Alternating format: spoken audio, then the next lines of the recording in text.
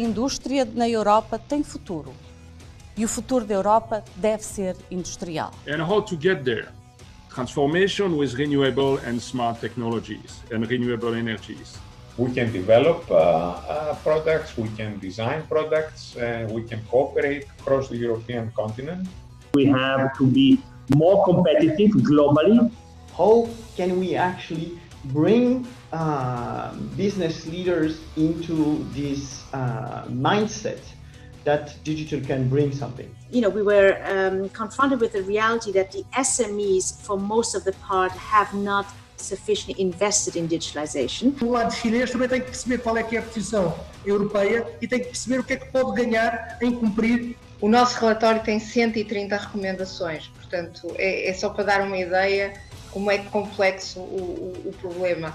There's broadly a sense in Japan that it feels it needs to catch up and change and even learn from the West. It's natural for Europeans to gripe about the American giants, but it's also important to remember that having these services available also benefits European consumers. It's unfortunate that we don't have more European companies that are more successful at this ourselves. São empresas que estão no mercado para ganhar dinheiro, não estão no mercado para não, não o fazer. E por isso é que a regulamentação uh, é uh, algo muito importante. Acho que temos uma boa base de trabalho, mas com certeza vamos ter todos que evoluir em, em conjunto no sentido de conseguir que esta nova revolução verde tenha de facto uma tradução efetiva no deste fenómeno pandémico, do qual ainda não percebemos todas as consequências. Já percebemos como é que começou, já percebemos dos primeiros impactos e como é que, como é que somos capazes de o mitigar, mas as consequências que têm vêm, vamos, vamos percebê-las possivelmente daqui, daqui a alguns meses.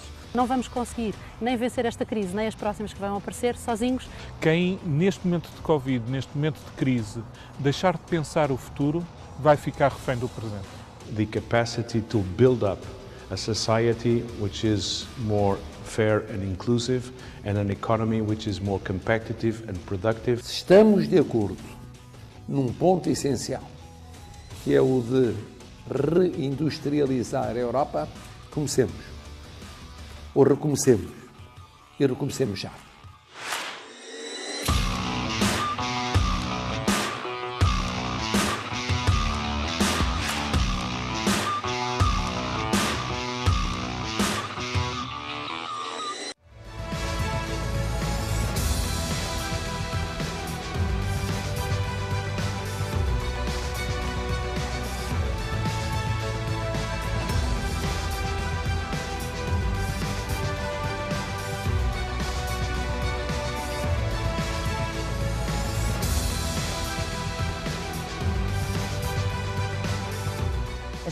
Portuguesas são na Europa aquelas que em maior número realizam atividades de inovação, em particular na aquisição de novos conhecimentos científicos e tecnológicos. A inovação, de facto, tem-se revelado como uma alavanca muito importante para se atingir vantagens competitivas sustentáveis e, portanto, dessa forma garantir o sucesso das empresas. O ensino experimental tem um bocadinho de tudo. Tem um bocadinho de inovação, tem um bocadinho de criação, tem ainda uma capacidade para transversalmente cruzar as várias ciências, as várias áreas científicas por onde se passa. É um prémio que vem uh, dar-nos, no fundo, uma indicação positiva de que estamos no bom caminho e de que fazer escola passa muito por aqui. Os principais protagonistas deste projeto foram estas meninas que estão aqui atrás. Elas sim trabalharam arduamente durante dois anos e de facto fizeram um projeto maravilhoso. E o vencedor do prémio PME Inovação é a empresa Bird. A inovação exige quatro coisas: soluções de valor acrescentado, recursos, saber vender e saber acontecer. E é isto que a Bird sabe fazer. Valeu a pena haver Cotec. Vale a pena haver esse fórum de diálogo entre empresas de várias dimensões, de várias áreas, e sobretudo neste momento em que vamos ter que dar a volta depois do ano terrível de 2020. E aí a Cotec pode ajudar.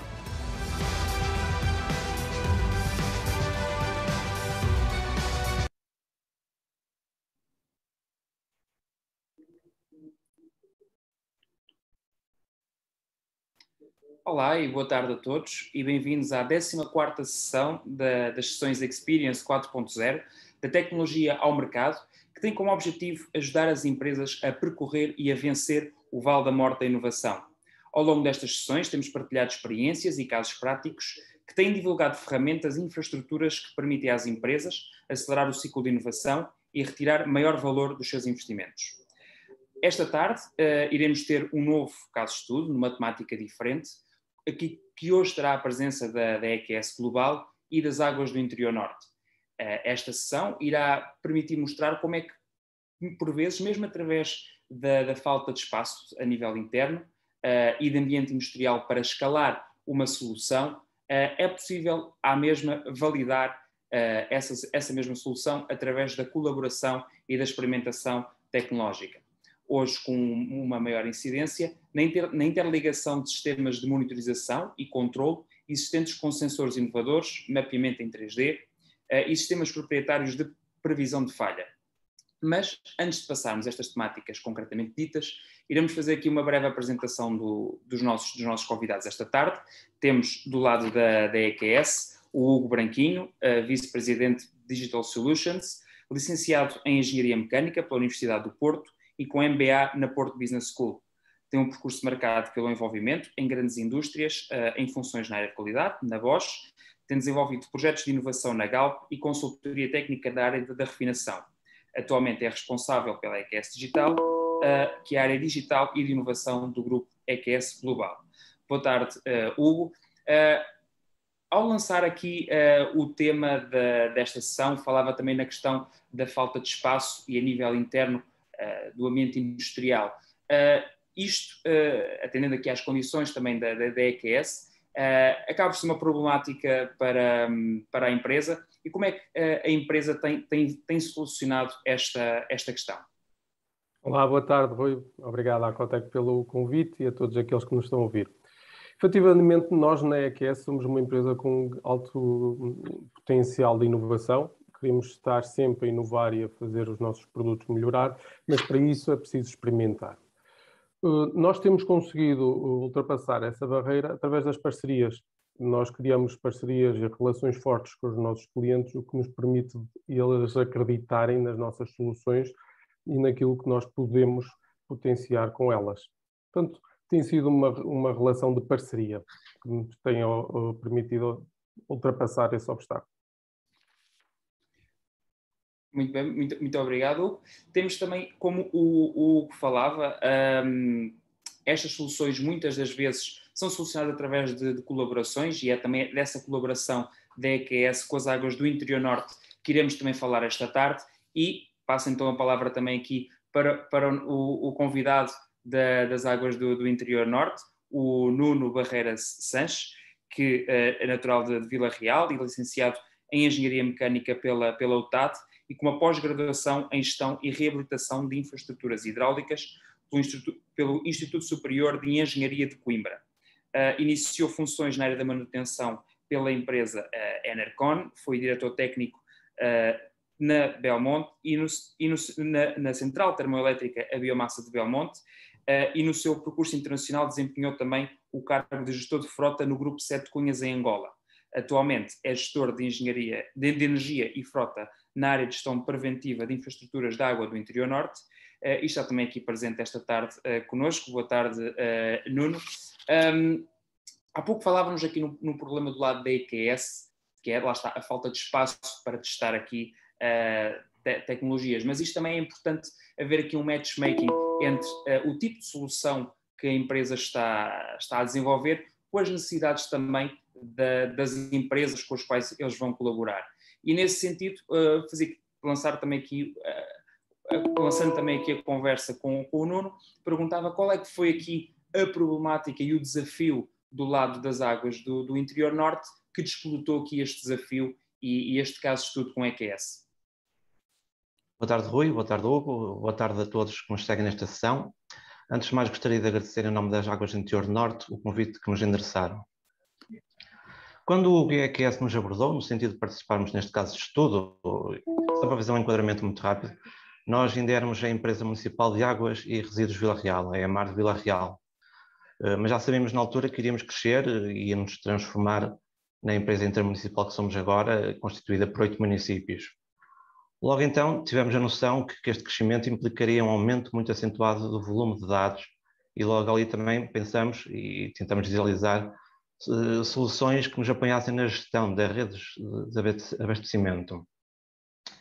Eu diria que é de todo interesse uma entidade gestora como a nossa poder participar ativamente e colaborar com empresas como a QS no desenvolvimento de ferramentas inovadoras, como disse o Hugo, e, e permite, que permitem melhorar a nossa eficiência e, e no fundo, eh, conhecer o, o comportamento real das redes de abastecimento. E o nosso principal eh, desafio foi, com tantos dados, como é que vamos tratar, como é que vamos resolver e entender o que é que vai acontecer. Uh, muito bem, muito, muito obrigado, uh, uh, Nuno. lançando então a conversa propriamente dita, um, e focando então aqui um bocadinho na solução que, que a EQS desenvolveu, esta solução visa automatizar muitos dos processos de monitorização, neste caso, como o Nuno também falava, das águas do Norte, mas em concreto, que tecnologias digitais é que estão aqui, neste caso estudo, a ser testadas e qual o seu grande fator diferenciador face também a outras soluções, não só do grupo EQS, mas também a nível do mercado? Eu vou pegar um bocadinho nas palavras do, do Nuno e, e a questão passa toda porque dados existem, ok? Mas as tomadas de decisão são feitas com informação. E isto é, como o Nuno estava a dizer, é o que falta. Então nós, de alguma forma, dividimos o problema em três. O primeiro, conseguir recuperar dados e armazená-los de forma a que possam aceder, termos milhões de dados de multi-anos, de múltiplos anos para conseguir trabalhar. Depois há uma segunda fase em que nós chamamos de Smart Data, que basicamente são algoritmos que pegam nesses dados e os trabalham para conseguirmos ter alguma informação ainda descontextualizada. E, por último, a informação onde sim já entra uh, o conhecimento humano, o know-how do negócio. Para cada uma destas fases utilizamos tecnologias diferentes. Na primeira fase usamos uma base de dados que foi desenvolvida internamente para acomodar a Big Data, a quantidade de dados que nós tínhamos. Na segunda fase decidimos ir por um modelo de previsão usando redes neuronais. E aqui é muito importante falarmos sobre as redes, eh, sobre o método de previsão, que é um bocadinho diferente do approach que existe noutras soluções. Nós não pretendemos e não queremos ocupar os, os, os conhecedores, os nossos, os nossos clientes olharem para dados, mas sim queremos que, com os dados que temos, produzir rapidamente informação, ainda que seja descontextualizada, para eles terem os ganhos rápidos. Por último, a última fase, a informação, aí sim, depois de termos esta a segunda fase consolidada, pedimos aos, aos donos do negócio, a quem realmente percebe, sabe o que está a acontecer, a contextualizar e no final temos informação. Informação essa que é a base de toda a decisão. Portanto, passar de dados para informação é o nosso objetivo. Utilizamos várias tecnologias, como disse, proprietárias para conseguirmos chegar aí. A grande diferença, respondendo pragmaticamente à questão, Rui, é que nós usamos modelos de previsão que permitem rapidamente atingir um, um grau de conhecimento, um grau de decisão mais, uh, mais rápido. E, e, e, é essa a grande fator diferenciador da nossa solução para os demais. Uh, muito bem, e já agora uma, uma pequena pergunta de, de, de follow-up.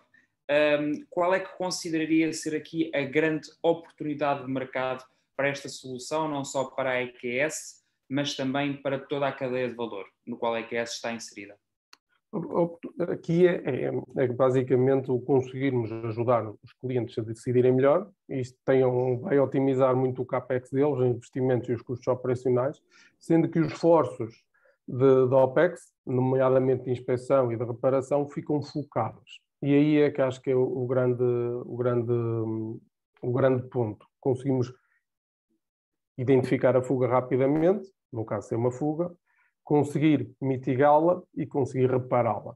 E depois temos algo que aqui também se pode falar, que é o Total Ownership Cost, onde conseguimos de alguma forma integrar end-to-end todo o ciclo de, de vida do ativo, garantindo que o mesmo está ajustado às necessidades do mercado. Falamos sempre muito no tema da, da eficiência energética, nas suas vertentes, e o, o, Nuno já teve a oportunidade de comentar isso. Eu acho que aí é onde nós todos devemos focar. Eh, nós estamos no mesmo mundo, temos que reservar-nos, otimizarmos o consumo de recursos, e aqui estas ferramentas são ferramentas, apenas ferramentas para apoiar a decisão, para que se consiga fazer isso da melhor forma possível. No controle, é aí que nós nos queremos posicionar e queremos apoiar todos os nossos clientes a, a, a poder melhorar o processo de decisão. Certo. E, uh, Nuno, Nuno quando, quando as águas do interior norte uh, ouvem assim uma, uma ideia, um produto inovador como este que a EQS hoje, uh, hoje nos apresenta, um, as águas do interior norte aqui têm uh, tido aqui um histórico também de colaboração com, com outras entidades no sentido aqui também de escalar este tipo de soluções uh, dentro daquela que é a realidade das águas do interior norte? Uh, e se sim, quais é que são os benefícios que, que uma entidade como a vossa consegue retirar de, da colaboração com, com, este tipo de entidades, já numa fase elevada de maturidade? Qual é a importância deste tipo de colaboração para a estratégia de, de entidades como a vossa? sim, sempre que há oportunidade, a Águas do Interior Norte tenta eh, colaborar e participar em, eventos e com empresas, no sentido de desenvolver eh, ideias, soluções eh, que nos permitam optimizar o nosso trabalho. Seja o trabalho da gestão da própria rede, seja o trabalho de optimizar a gestão energética, sempre que possível tentamos, tentamos participar e partilhar conhecimentos e, e tirar aprendizagens dessas participações, sim. Uh, uh, muito bem, e já agora uh, faço só aqui um pequeno, um pequeno também à parte para, para, a nossa, para a nossa audiência, de que caso também tenham questões que queiram colocar aqui aos, aos nossos convidados, podem no fazer através da função do bate-papo do Zoom ou também da própria funcionalidade das perguntas e respostas do Q&A. Um, então aqui para, para, a pergunta que eu também tinha e focando então aqui no caso de estudo em concreto que, que nos traz aqui, uh, como é que foi possível, uh, e que era uma pergunta que eu abria uh, aos dois, como é que, estando a falar aqui de, de uma solução ainda pré-comercial, e ou seja, ainda antes de entrar, de entrar no mercado, como é que foi possível replicar as condições ideais para que a mesma fosse então validada e posteriormente escaladas. Poderiam aqui também aproveitar para explicar aqui o caso de estudo concreto com, com maior detalhe. Ok. Sim, para implementar este projeto tínhamos a noção que teria que ser feito em condições reais, isto é, proceder à sensorização dos equipamentos e das infraestruturas eh, que são mais usuais nas redes de abastecimento. Foi então escolhido e definida uma zona de medição e controle, uma zona pequena, de fácil acesso, composta por uma VRP, eh, uma válvula redutora de pressão, e, e, um reservatório constituído por uma saída gravítica e por uma saída pressurizada. Foram então escolhidos os sensores e os equipamentos mais comuns no, no mercado, com a premissa que, que, não fossem alterar a infraestrutura em si. E, e que se, fosse, se houvesse a necessidade de até os deslocalizar para, para, outro, para, outro, outro reservatório, eh, fosse possível e não houvesse problemas de maior e até repensar a parte do projeto. E, posto isto, foi, foi feito um ensaio, foi feita a monitorização de todos os equipamentos durante cerca de um ano. Eu não sei se calhar agora o Hugo quererá acrescentar a parte do trabalho da EQS. Sim, eu, eu gostava porque a, a, pergunta é super pertinente Rui, e, e devo dizer que o, o Nuno e a, e a Dina, as Águas do Interior Norte, não se pouparam a nada a, a pôr nas dificuldades. E também. no sentido em que escolheram, efetivamente, como o Nuno disse, tivemos que integrar, ou seja, equipamentos que já tinham, já tinham alguma sensorização, tínhamos equipamentos que não tinham sensorização nenhuma e que foi necessário colocar, tivemos ali algumas dificuldades em termos de comunicação, porque a, rede, parte da rede que utilizamos, estava, estava ali numa zona um bocadinho como uma cobertura de rede, mas, mas acho que isto foi muito importante foi muito importante e agradeço aqui publicamente ao Nuno e à Dino, porque ao fazermos isso conseguimos perceber que a solução é robusta e que a solução consegue trabalhar inclusive em, em locais com alguma dificuldade em que há necessidade de uma forma inventiva e criativa ultrapassar estas dificuldades. E, e, foi aí que nós começamos. Foi o apoio, também a, parte da ADIN ter a documentação e ter informação associada às ordens de trabalho para, na terceira fase, que eu falei no início, da validação e da auscultação dos resultados foi muito importante e eles tinham aquilo tudo direitinho e foi eh, muito fácil obter os resultados.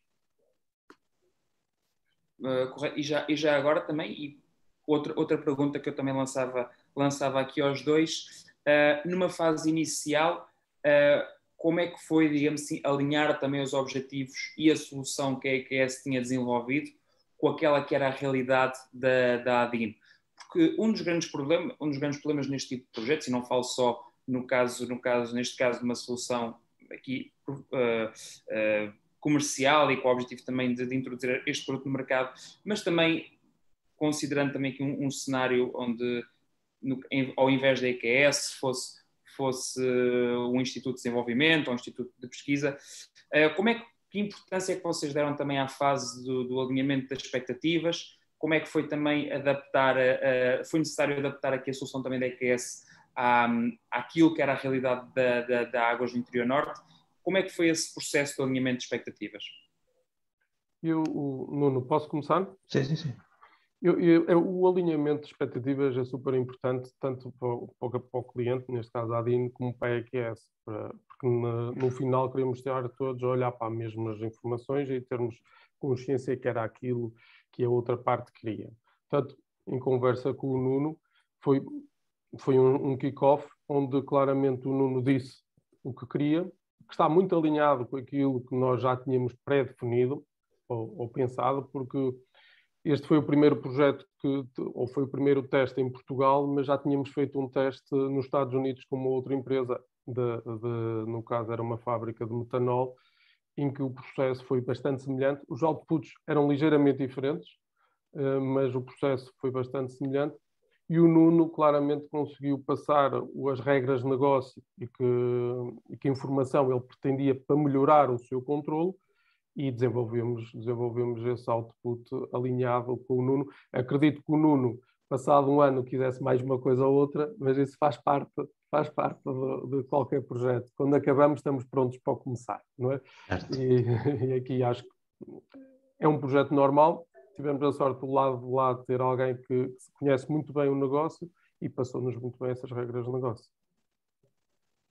Sim, só, só acrescentar que, que, da parte do Hugo foi super fácil eh, comunicar. Eh, a parte, a parte industrial no nosso, no nosso lado não, não, é tão, não é tão incisiva, mas conseguimos nos adaptar e dialogar e, no fundo, chegamos a bom porto com, com, este, com este teste, sim.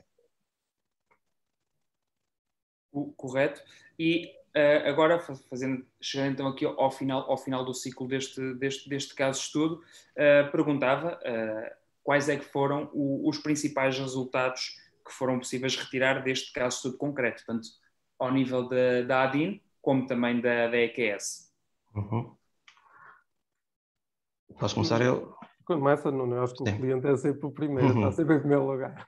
Não, nós fizemos a recolha dos dados, os dados foram analisados e cruzados com as nossas ocorrências, com as nossas ordens de trabalho, que registramos também durante esse, esse período de estudo. Verificamos que, quanto aos equipamentos propriamente ditos, houve poucos alertas e, felizmente, não houve nenhuma avaria. Uh, felizmente para nós, se calhar para o até dava jeito uma avaria toda hoje, não é? Uhum. Mas, mas felizmente aconteceu assim. Quanto às, às, ocorrências relacionadas com fugas e rupturas, aí sim foi possível identificar no tempo as alterações e períodos críticos uh, que, que antecederam essas ocorrências. Uh, períodos críticos que, que, seja por aumento ou diminuição de pressões, ou por variação de caudal, e ficaram registados e coincidiam com as nossas ocorrências, em alguns casos até cerca de quatro dias de antecedência. Sim, e conseguimos isto porque, porque efetivamente usamos modelos de previsão. Uma das coisas, uma particularidade do negócio das águas é que há bastante sazonalidade. Por exemplo, em agosto é um período em que vem muita gente fora, no caso concreto do Vila Real, na zona onde estamos a falar, e o consumo aumentava. Se nós não tivéssemos o modelo de calibração, as redes neuronais que são calibradas a curto e a longo prazo, possivelmente iria dar um alerta de um consumo elevado. Como nós tivemos um ano para fazer a calibração dos modelos, que não é muito, tá, ok? No mundo do data science não é muito, mas é o suficiente para o nosso modelo começar a trabalhar. Depois, o que ele faz? Ele vai prevendo, o modelo vai prevendo o, os consumos, no caso concreto, se estivermos a falar de um caudal, e verifica o valor que está a registar. Estes gaps este gap que existe entre a previsão e o consumo é os gaps que depois nós utilizamos de contexto, contextualizado pelas ordens de trabalho para definir a alarmística. O que é que isso permite? Permite que o Nuno, como decisor, não esteja sempre a receber alertas, sejam eles verdadeiros ou falsos positivos, mas sim alertas que já foram trabalhados, que já foram triados, que já foram contextualizados pelo, pelo momento e pela um, sazonalidade. Isso é muito interessante porque foca, porque a dada altura o Nuno tinha tantos alertas a, a, a atuar, não sabia qual é que eram os críticos ou não. Assim, temos esta layer que permite efetivamente otimizar o processo de, de informação ao Nuno, no caso concreto, mas também começa a prever. Portanto, o Nuno falou num caso em que nós conseguimos detectar até quatro dias antes uma fuga, é isto que pretende, pretendemos. Que houve quatro dias em que a fuga teve a acontecer e que ninguém deu conta. E ao fazermos isto, estamos a mitigar os custos operacionais, mas mais estamos a mitigar o, o consumo de recursos naturais, que é uma preocupação de todos. Claro. E uh, apesar de. Temos aqui também uma pergunta da, da, da nossa audiência, que apesar de nós termos ido agora indo respondendo a esta pergunta ao longo, ao longo da nossa conversa, uh, eu colocava a mesma, que é, do ponto de vista da solução técnica, uh, quais é, qual é que é o, o, o, principal selling point deste tipo de abordagens e deste tipo de projetos, como é que a ES teve com, com, com, com a ADIN, uh, e quais é que foram os principais problemas resolvidos, neste caso talvez seja mais direcionado para o Nuno, com as soluções tecnológicas implementadas com esta colaboração. Eu, se calhar, respondia eu à questão do da audiência. Exatamente, pedi, pedi, pedi ao para focar aqui mais na, parte, na, parte, na primeira parte na, da pergunta, ou seja, uh, os selling points deste tipo de, de, abordagens, deste tipo de cooperações, e depois pedi aqui ao, ao, ao uhum. também que problemas aqui também de, de negócio da, da, da ADIN é que, é que esta, esta cooperação uh, resolveu. Sim. Combinado.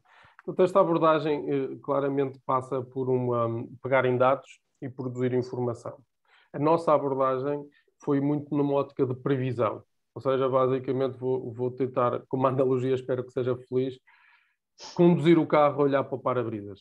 Okay? De uma forma geral, nós tendemos sempre muito uh, ao negócio, antes de, deste sistema, olhar para o retrovisor na ótica de prever o futuro. Nós aqui utilizamos soluções de analytics tem que ter uma preparação dos dados para tentar prever como vai ser o futuro e os desvios serem rapidamente uh, assinalados. Claro está que há desvios que, que, são assinalados e que muitas vezes não acontecem. Isto é, é um risco e faz parte da, do fine-tuning destes sistemas e quanto mais dados nós temos, mais dados conseguimos fazer para usar para o fine-tuning e melhor fica o sistema. Portanto, no caso concreto da ADIN tivemos apenas um ano.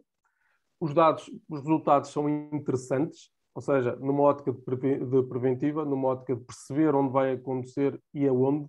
E claro está, vai também potenciar uma análise de ciclo de vida e provavelmente eh, induzir na escolha de um equipamento ou de um fabricante em detrimento de outros, porque os registros ficam lá e percebemos pelo comportamento dos equipamentos que há um maior desgaste ou um menor desgaste com um ou outro uh, equipamento, mas realmente é, é sucinto, é muito sucinto dizer que, e muito pragmático, que esta solução o que faz é garantir que nós estamos a conduzir o carro a olhar para a frente, que estamos a prever e conseguimos antecipar todas estas tarefas.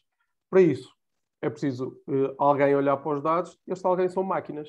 Portanto, eles estão lá, temos a capacidade, atualmente a capacidade do hardware é, é mais do que suficiente o que temos que fazer é pegar nas necessidades do negócio e garantir que as máquinas trabalham para estas necessidades do negócio. E dar o negócio que o Nuno conhece muito bem das águas. Bem, o Hugo quase que respondeu à, à, à pergunta que estava direcionada a mim, não é? Mas basicamente é isso.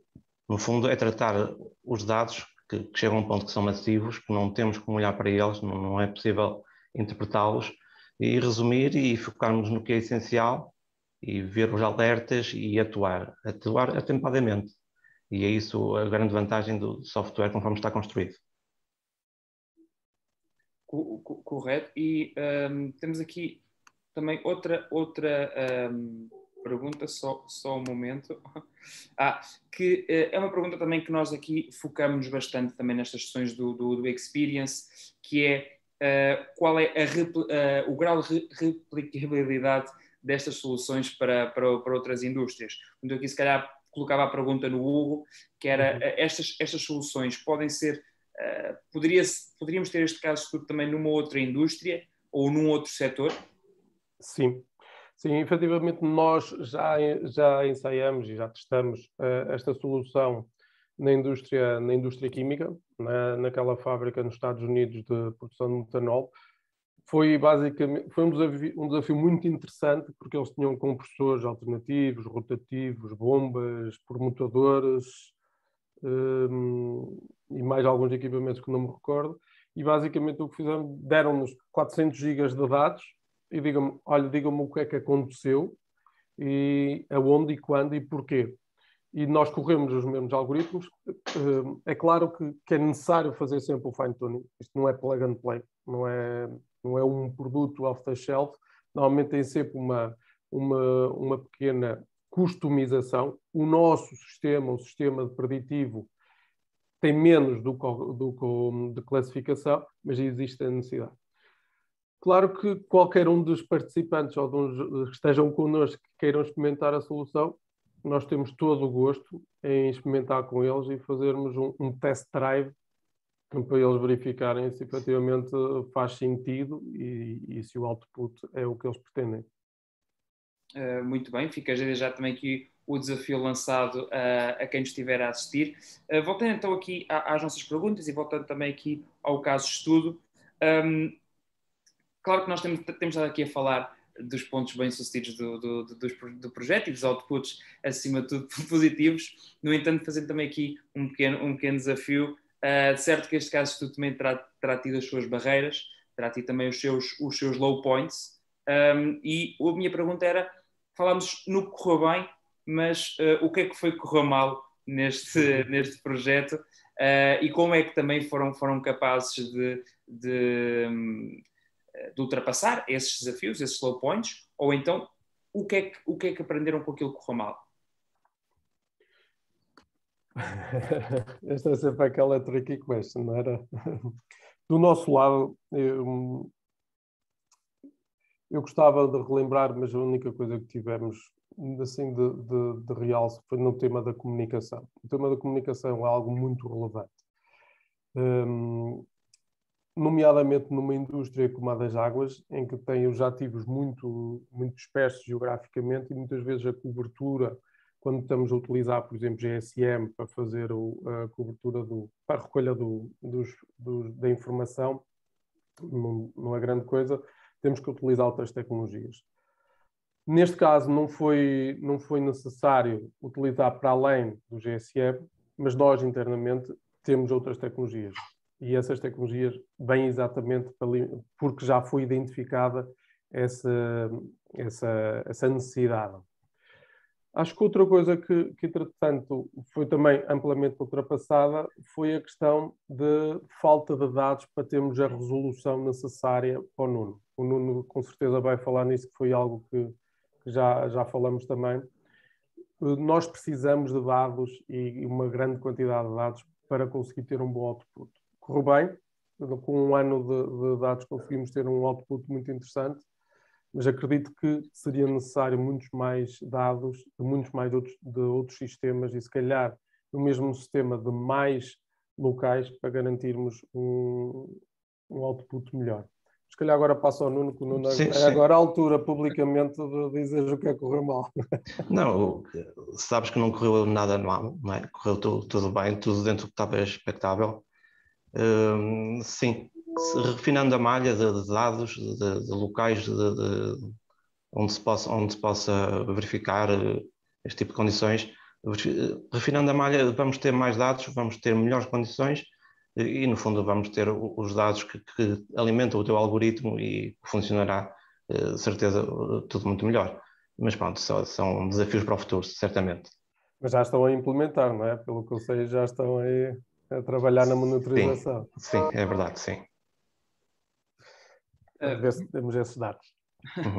Muito bem. Estamos também então a chegar aqui ao final da, da, nossa, da nossa sessão. Uh, falámos aqui tópicos, abrangemos aqui o caso, um este caso tudo bastante interessante. Um, e então, uh, pa- para, para as minhas últimas perguntas, uh, a primeira que eu tinha era quais é que foram, e pegando um bocadinho também na, na última pergunta que eu coloquei, quais é que foram, quais diriam ser as principais lições uh, retiradas deste, deste caso de estudo? Nuno, queres, eh, queres começar? Sim, se calhar agora começamos pelo Nuno. Sim. Eh, As principais lições, eh, no fundo, temos que ter uma instrumentação eh, concisa, e incisiva, que nos dê os dados que, que, no fundo, queremos estar à espera. E, no fundo, também precisamos ter dados em grande volume que, que- que o algoritmo possa correr e, e que nos, no fundo, centre nos alertas que precisamos. E, no fundo, é, esse tipo de situações que inter- interessa mais para, para a nossa área e, e que, que era, era desde o início a nossa intenção fazer. Uhum. Sim, e é é aqui, aqui nós, hum, para o futuro, e eu acho que aqui uma nota que gostaria de dizer é que estes sistemas não, não, não retiram o foco nas pessoas. O que eles fazem é ajudam a focar as pessoas. ok? Eu acho que aqui o ponto é essencial.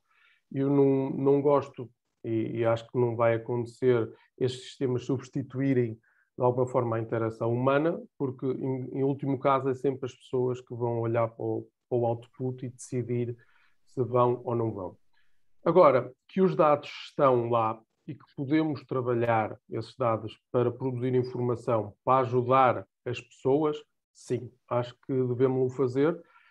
Devemos o fazer o mais fácil possível, mas nunca perdendo o objetivo e o foco, como o Nuno estava a dizer, do negócio. Mas o focar e permitir que essas pessoas tenham mais tempo para fazer o que realmente interessa, acho que é o objetivo, o nosso objetivo com esses sistemas. E, e cada vez mais somos inundados com dados, não necessariamente informação, e às vezes precisamos de ajuda para, para os tratar e para garantir que estamos, estamos alinhados com os objetivos estratégicos e depois os operacionais de cada um de nós. Muito bem. E agora, um, para fecharmos também aqui a, a sessão, eu não, não, não perguntaria o que, é que, o que é que dizem os vossos olhos, como, como no outro programa, mas, mas pedia-vos para, para deixarem aqui uma, uma mensagem final para quem nos, para quem nos está, para, para quem nos está a, a assistir. Um, e perguntaria aqui, podemos começar pelo, pelo Hugo, uh, que mensagem deixariam uh, desta, desta sessão que os nossos participantes deveriam uh, levá-la agora este fim de semana para, para, para, refletir sobre as mesmas? Alguns deles fim de semana prolongado, espero, ou eles gostariam. Aqui, efetivamente, é não olharem para os dados como uma matéria-prima, mas os dados são dados. Nós queremos informação. Eu vou, vou, vou estar sempre a repetir isto porque é algo que realmente sinto que, que é necessário trabalhar. Muitas vezes temos que parar um bocadinho e olhar para o que estamos a fazer e se conseguimos fazer melhor e mais rápido. E aqui as ferramentas digitais é onde podem ajudar. Claro está que existe, vai obrigar um bocadinho a, a um esforço suplementar e vão sair fora da zona de conforto, porque muitas das pessoas ainda, eh, ainda não estão familiarizadas com os temas da IT, mas é o caminho, eu penso que é o caminho, mas é um caminho que tem, que ser feito a dois, ou seja, tem que ser soluções digitais e as pessoas. E aproximar esses dois é, é super importante e tudo passa por iniciar, ok? e o iniciar e conseguimos fazer alguns dados, e há ferramentas e que já rapidamente se consegue perceber e tratar os dados, ainda que numa fase muito, muito teste e muito trial, mas que depois, dando o passo seguinte, rapidamente conseguem ter valor e quantificar. Nós, nós trabalhamos muito bem a quantificar o risco, a quantificar o ativo, a quantificar todos os nossos processos e, e ajuda, ajuda a ter um pensamento mais analítico e a libertar-nos para fazermos outras coisas que realmente são necessárias. Muito, muito obrigado. Só, antes, antes só de passar aqui a palavra também ao, ao, ao Nuno, gostava só de destacar aqui também uma frase dita, dita agora pelo Hugo, que é uh, aproximar a tecnologia da, das pessoas e das, e das, necessidades. Que isso é uma ideia que também tem sido uh, muito vincada ao longo destas sessões de Experience 4.0, é de que não há inovação, uh, não há avanço da tecnologia sem ter aqui as pessoas como, como, como força motriz da mesma e não a tecnologia em si. Aqui um pensamento também muito interessante do, do Hugo, que, que, que devemos todos reter. Portanto, passando então agora aqui a palavra também ao Nuno, um, para também nos deixar aqui uma, umas últimas palavras e uma, uma última mensagem. Eh, sim, ia só complementar também o Hugo. Eu diria que justifica claramente todo, todo o envolvimento e colaboração no desenvolvimento de softwares mais específicos que, que nos ajudem a interpretar estes volumes de dados uh, enormes e que nos devolva o essencial e importante, que é centrarmos-nos e não estar só na análise de dados, mas sim na, na interpretação e, e, no que é mesmo importante e na resolução dos problemas. Uh, muito, muito obrigado, uh, Nuno, e muito obrigado, Hugo, mais uma vez, aqui pelo, pelo, pelo vosso contributo, e uh, obrigado também a, quem, a quem nos esteve a assistir esta, esta tarde, esta conversa. Obrigado pela, pela vossa participação, pelas perguntas colocadas. não conseguimos responder a todas, portanto, há, há aquelas pessoas que mantenham algumas dúvidas, um, sintam-se à vontade de, de, de, enviar um e-mail para geral.cotec.pt, que iremos partilhar também aqui com os nossos, com os nossos, uh, com os nossos oradores, um, para que os mesmos possam, possam responder. Relativamente também a uma pergunta colocada quanto à disponibilização desta sessão, não só esta sessão será disponibilizada no, no website da Cotec, onde estão também disponíveis todas as sessões do Experience 4.0 até à data, para a semana iremos estar de regresso com, com a Introsis e com a Auto Europa, com um novo caso de estudo, desta vez relacionado com a automização dos processos de gestão de qualidade. Será, uh, de novo, também uma sessão interessantíssima e daqui por duas semanas estaremos de volta com a Amorim, que nos irá falar aqui da fábrica modelo que criou para experimentar novos uh, projetos de, de inovação e colocá-los em prática.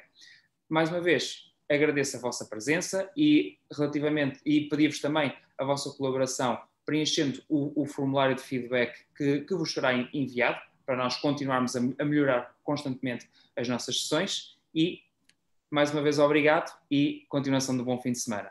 Muito obrigado.